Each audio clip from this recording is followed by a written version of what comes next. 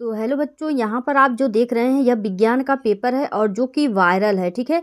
आप सब इसको ज़रूर तैयार कर लीजिए, क्योंकि यह पेपर आपका जो यहाँ पर देख रहे हैं आप, बोर्ड पेपर, यानी कि सत्ताईस तारीख को जब आप पेपर देने जाओगे तो आपको यही पेपर देखने को मिलेगा, क्योंकि यह बहुत ही कोशिशों के बाद बहुत ही इंपॉर्टेंट पेपर है, आप लोग इसको सॉल्व कर लीजिए।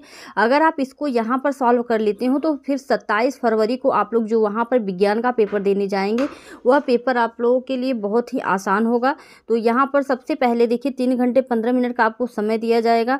यहाँ पर कुछ निर्देश हैं जिन्हें पढ़ना आप लोगों के लिए बहुत ही ज़्यादा इंपॉर्टेंट है। प्रारंभ के पंद्रह मिनट परीक्षार्थियों को प्रश्न पत्र पढ़ने के लिए निर्धारित हैं। तो आप लोग पंद्रह मिनट तक आराम से प्रश्न को पढ़ लीजिएगा। जो क्वेश्चन आपको अच्छे से आता रहेगा, उस क्वेश्चन को सबसे पहले करिएगा। और जो क्वेश्चन नहीं आएगा, उसको पीछे करिएगा। अगला जो निर्देश है प्रश्न पत्र दो खंडों में विभाजित होगा, यानी अ और ब में, ठीक है? खंड अ तथा ब तीन उपखंडों यानी कि क, ख, ग में विभाजित है। प्रश्न पत्र के खंड अ में बहुविकल्पी प्रश्न है। आप लोगों ने जो है हिंदी का पेपर दिया और मैथ का पेपर दिया, बहुत सारे आप पेपर दे चुके हैं तो आप लोगों को ओ एम आर सीट की नॉलेज हो चुकी है कि ओ एम आर सीट पर आपको कैसे भरना है और अगर कहीं पे आपको मिस्टेक हुई है तो आप विज्ञान में सुधार कर लीजिए, ठीक है? उस चीज़ का मिस्टेक विज्ञान के पेपर में मत करिएगा, ताकि आपको पूरा नंबर मिले। और खंड अ में बहुविकल्पी प्रश्न है तो प्रत्येक प्रश्न के लिए एक अंक निर्धारित है और प्रश्न पत्र के खंड क के प्रश्नों को हल करने हेतु तो एक घंटा और प्रश्न पत्र खंड ब हल करने के लिए दो घंटे का समय आप लोगों को निर्धारित किया गया है। खंड ब में वर्णात्मक प्रश्न है। प्रत्येक प्रश्न के सम्मुख उनके अंक निर्धारित किए गए हैं। खंड ब के, यहाँ पर देखिए अगला पॉइंट जो है खंड ब के प्रत्येक उपखंड के सभी प्रश्न एक साथ करना आवश्यक है। उप और प्रत्येक उपखंड नए पृष्ठ से प्रारंभ किया जाए। सभी प्रश्न अनिवार्य है। सभी प्रश्नों को करना अनिवार्य है। आप लोगों को इतना ध्यान देना है जहाँ पर अथवा करके दिया जाएगा। वहाँ पर आपको जो है एक ही क्वेश्चन को करना रहेगा। तो यहाँ पर मैं आपको सारी चीज़ें समझा देती हूँ। सबसे पहले हम लोग चलेंगे बहुविकल्पी प्रश्न की तरफ़, जो बीस नंबर के यहाँ पर आपको बीस प्रश्न दिए गए हैं और सभी के लिए एक एक नंबर आपको मिलेगा, ठीक है? यहाँ पर सभी के लिए एक एक नंबर मिलेगा। तो यहाँ पर पहला प्रश्न है, जब प्रकाश के नेत्र में प्रवेश करता है, जब प्रकाश नेत्र में प्रवेश करता है तो अधिकांश अपवर्तन कहाँ होता है? तो यहाँ पर चार ऑप्शन दिए गए हैं क्रिस्टलीय लेंस पर, स्वच्छ मंडल कार्निया पर, परितालिका पर, पुतली पर। तो यहाँ पर जो है, आपको बताना है कि कहाँ पर जो है, किया जाता है तो यहाँ पर आप स्वच्छ मंडल कार्निया पर सही ऑप्शन होगा, ठीक है? अधिकांश पर अपवर्तन जो है, स्वच्छ मंडल कार्निया पर होता है। अगला क्वेश्चन देखेंगे। और सारे क्वेश्चन इंपॉर्टेंट हैं तो इसको सॉल्व करना आप लोगों के लिए इंपॉर्टेंट है। निम्नलिखित में से कौन वोल्टता को निरूपित करता है?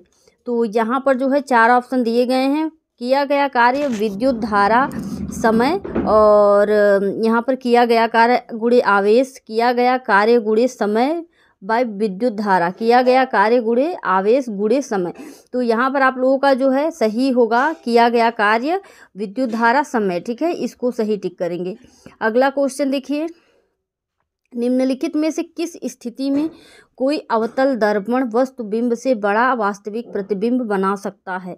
तो यहाँ पर भी चार ऑप्शन हैं। चारों ऑप्शन को अच्छे से पढ़िएगा, जो आपको सही समझ में आ जाए, उसी पर टिक करिएगा, ठीक है? और आपको टिक नहीं करना है, बल्कि गोला बनाना है ओ एम आर सीट पर बहुत ही ध्यान से। अगर आप एक ही में दो गोले को ऐसे डॉट पेन से कर देते हो तो फिर वो आंसर आपका पूरा गलत हो जाएगा, ठीक है?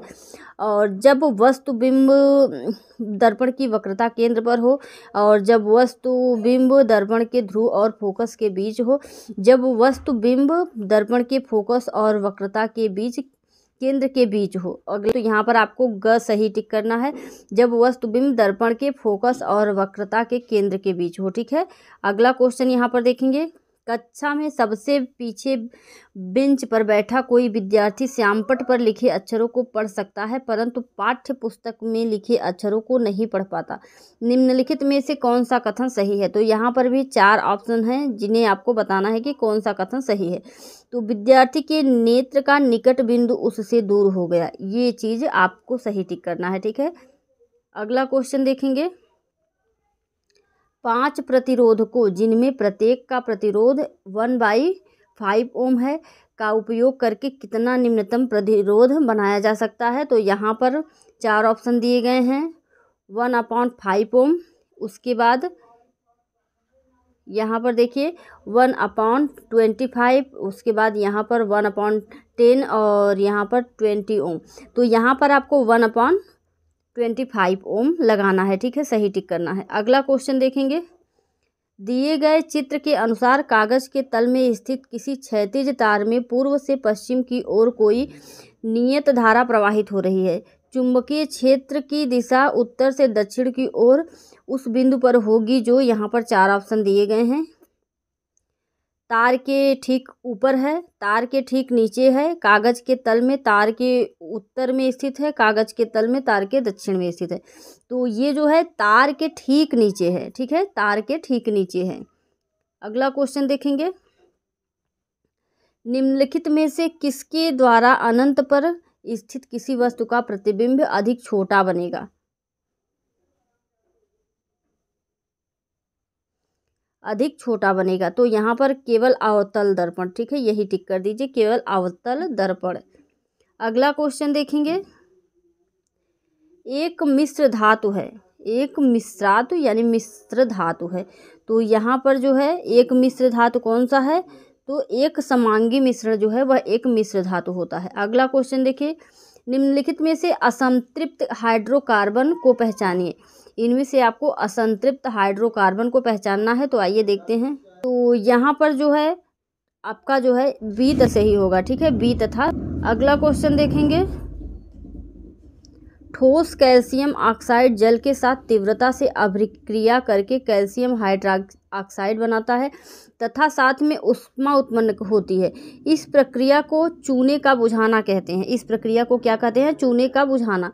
कैल्शियम हाइड्रोक्साइड जल में घुलकर इसका बेलियन बनाता है, जिसे चूने का पानी कहते हैं। निम्नलिखित में से कौन सा कथन चूने के बुझाने तथा इसके बिलियन बनने के लिए सत्य है? तो यहाँ पर जो है आप लोगों को बी तथा सी, यह एक उष्मा छेपी अभिक्रिया है और परिणामी विलयन पीएच सात से अधिक होगी, ठीक है? तो यहाँ पर ख टिक करना है। अगला क्वेश्चन देखेंगे, एक परमाणु की परमाणवीय त्रिज्या का निम्नलिखित में से कौन सा सही कथन, सही प्रदर्शन है? तो यहाँ पर आपको बताना है सही प्रदर्शन। तो सही प्रदर्शन यहाँ पर जो है चार ऑप्शन दिए गए हैं, आपको बताना है तो यहाँ पर आप ख टिक करिए, ठीक है? यानी कि दूसरा तीसरा सही है। अगला क्वेश्चन देखेंगे। कॉलम ए में दिए गए रासायनिक पदार्थों का सुमेलन कॉलम बी में दिए गए उनके उपयोगों से, उनके अनुप्रयोगों से कीजिए। तो यहाँ पर बारहवें का जो है, आप लोग कमेंट करके ज़रूर बताइएगा कि बारहवें का क्या होता है, ठीक है? अगला क्वेश्चन देखिए।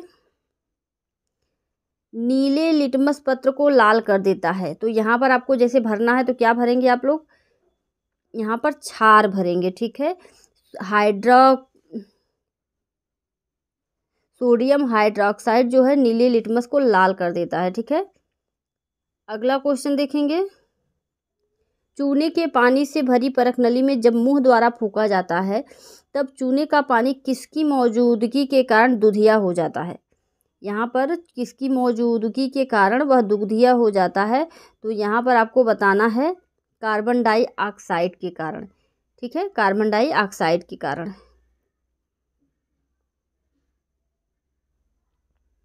अगला क्वेश्चन। कुछ डायनासोरों में एक पर पिच मौजूद थे, किंतु उड़ नहीं सकते थे, लेकिन पक्षियों में पर होते हैं जो उन्हें उड़ने में मदद करते हैं। विकास के संदर्भ में इसका यह अर्थ हुआ कि, क्या हुआ अर्थ? सरीसृपों की उत्पत्ति पक्षियों में हुई या फिर सरीसृपों और पक्षियों के बीच कोई विकास संबंध नहीं है। दोनों ही जीवों में पर समझात अंग है और पक्षियों की उत्पत्ति सरीसृपों से हुई। तो यहाँ पर आपको सही टिक करना है, पक्षियों की उत्पत्ति सरीसृपों से हुई, ठीक है? अगला क्वेश्चन देखेंगे। यदि किसी जीव का जीवाश्म पृथ्वी की अपेक्षाकृत गहरी परतों से प्राप्त हुआ है यदि किसी जीव का जीवाश्म पृथ्वी की अपेक्षाकृत परतों से प्राप्त हुआ है, तब हम भविष्यवाणी कर सकते हैं कि यहाँ पर कौन सा ऑप्शन सही होगा? सोलहवें का? तो सोलहवें का आप यहाँ पर सही करिएगा। विलुप्त होने की अवधि का निर्धारण नहीं किया जा सकता है। ठीक है, इसको सही करेंगे। और इस तरह से अगर आप बीसों क्वेश्चन सही करते हो तो आपके बीस नंबर जो हैं कंप्लीट हो जाएँगे। यहाँ से तीस नंबर आपको प्रोजेक्ट कार्य से मिलेंगे और पचास नंबर आप वर्णात्मक से करेंगे, ठीक है? सारे क्वेश्चन करने के बाद आपके सौ नंबर मिलेंगे। सौ नंबर में से कुछ राइटिंग पर कटेंगे अगर तो आपके पंचानवे नंबर कहीं नहीं गए हैं।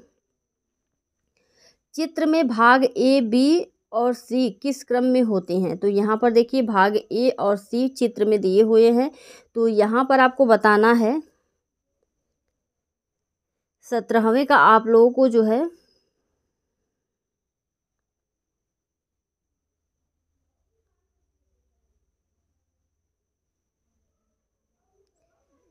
यदि किसी जीव का जीवाश्म पृथ्वी की अपेक्षाकृत गहरी परतों से प्राप्त हुआ है, तब हम भविष्यवाणी कर सकते हैं कि पृथ्वी की परतों में जीवाश्म की स्थिति का जीव के विलुप्त होने की अवधि से कोई संबंध नहीं है। यहाँ पर आपको ये टिक करना है, ठीक है? अगला क्वेश्चन देखिए। चित्र में भाग ए, बी और सी किस क्रम में होते हैं? तो यहाँ पर देखिए, इस चित्र को देखकर बताइए कि किस क्रम में होते हैं। तो यहाँ पर आपको बताना है, प्रांकुर, बीज, पत्र और मूलांकुर, ठीक है? प्रांकुर, बीज, पत्र, मूलांकुर, ये ऑप्शन बिल्कुल सही है। अगला क्वेश्चन देखेंगे। अमृता देवी बिश्नोई राष्ट्रीय पुरस्कार भारत सरकार द्वारा किस क्षेत्र में प्रदान किया जाता है? तो यहाँ पर वन्य जीव संरक्षण हेतु। यहाँ पर इसको टिक करेंगे, वन्य जीव संरक्षण हेतु। अगला क्वेश्चन देखिए। यदि मटर के एक गोल तथा हरे रंग के बीज वाले पौधे, झुर्रीदार तथा पीले रंग के बीज वाले पौधे में संकरण कराया जाए तो यह वन के बीज कैसे होंगे? तो यहाँ पर चार ऑप्शन दिए गए हैं गोल और पीले। गोल और हरे झुर्रीदार और हरे झुर्रीदार और पीले। तो यहाँ पर आपको क सही करना है गोल और पीले ठीक है? अगला क्वेश्चन देखिए। निम्नलिखित चित्र में अंकित ए मादा जनन तंत्र के किस भाग को प्रदर्शित करता है? जनन तंत्र के किस भाग को प्रदर्शित करता है? तो यहाँ पर आप चित्र देखकर बता सकते हैं। कि जनन तंत्र के किस भाग को प्रदर्शित करता है। तो यहाँ पर देखिए चार ऑप्शन दिए गए हैं, ग्रीवा, योनि, गर्भाशय, अंडाशय। तो यहाँ पर आपको अंडाशय पर टिक करना है, ठीक है? अगला क्वेश्चन देखेंगे। तो यहाँ पर हमारे बीस क्वेश्चन कंप्लीट हो चुके हैं। अब हम लोग वर्णात्मक प्रश्न को देखेंगे, ठीक है? वर्णात्मक प्रश्न में आप लोगों को लिखना रहेगा। यहाँ पर देखिए, और सारे क्वेश्चन को आप लोग सॉल्व ज़रूर कर लीजिएगा। पेपर से पहले गोलीय दर्पणों द्वारा परावर्तन के लिए चिन्ह परिपाठी लिखिए। तो यहाँ पर आपको चिन्ह परिपाठी लिखना है, जिसके लिए आपको चार नंबर मिलेगा। दूसरा क्वेश्चन है, वायुमंडल में अपवर्तन किस प्रकार होता है? तारे क्यों टिमटिमाते हैं, जबकि ग्रह नहीं टिमटिमाते? आपको बताना है कि तारे क्यों टिमटिमाते हैं, जबकि ग्रह नहीं टिमटिमाते हैं, ठीक है? अगला क्वेश्चन देखिए, दो ओम तीन ओम तथा छः ओम के तीनों प्रतिरोधकों को किस प्रकार संयोजित करेंगे कि संयोजन का कुल प्रतिरोध चार ओम, एक ओम हो? यहाँ पर आपको बताना है, यहाँ पर भी आपको चार नंबर मिलेगा। तो ठीक है, यहाँ पे दो ऑप्शन दिए गए हैं, दोनों को जब आप समझाएँगे तो आपको दो दो नंबर मिलेगा। मान लीजिए आपने एक ही समझा पाए हैं तो फिर आपको दो ही नंबर मिलेगा, दोनों समझा देंगे तो आपको चार नंबर मिलेगा।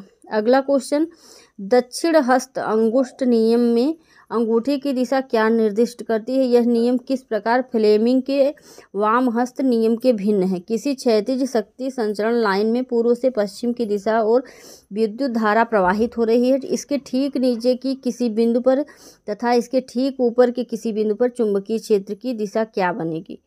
ठीक है तो आपको इसको पूरा सॉल्व करना होगा। इसके लिए आपको छः नंबर मिलेगा। आपको पूरा लिखना होगा कि कैसे कैसे चुंबकीय क्षेत्र की दिशा क्या होगी।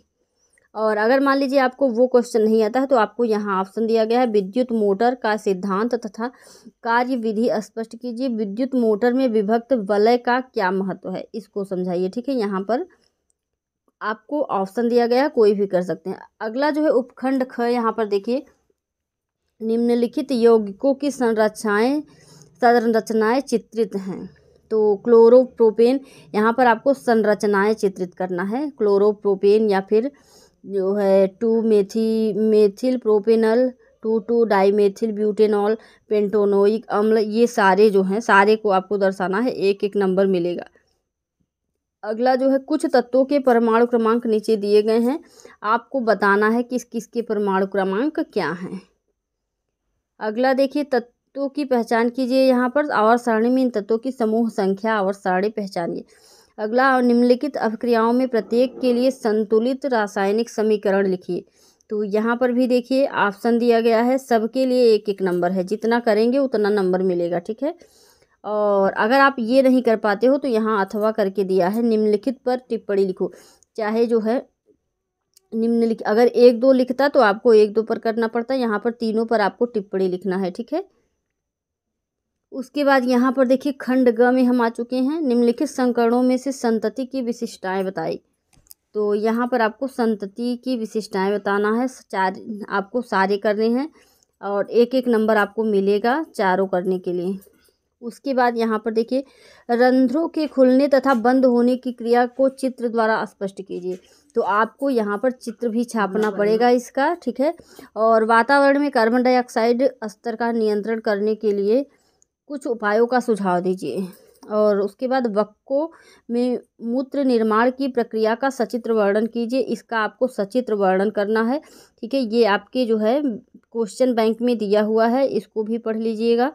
मानव के नर जनन तंत्र का सचित्र वर्णन कीजिए। मानव के नर जनन तंत्र का यह भी आपके जो है, दिया गया है। तो दोनों आप लोग तैयार कर लीजिए, ताकि एक कोई भी आप ज़रूर छाप कर आइएगा। ठीक है, ताकि छः नंबर मिले, आप छः नंबर आपको पूरे मिले। तो मैंने सारा चीज़ आपको समझा दिया है ऑप्शनली क्वेश्चन सारे सॉल्व करा दिए, ये हैं और वर्णात्मक आप लोगों को सॉल्व कर लेने हैं। तो अगर वीडियो अच्छा लगा हो तो लाइक कर दीजिए और और भी सब्जेक्ट के सारे इंपॉर्टेंट चीज़ें पाने के लिए चैनल को सब्सक्राइब कर लीजिए। मिलते हैं नेक्स्ट वीडियो में, धन्यवाद।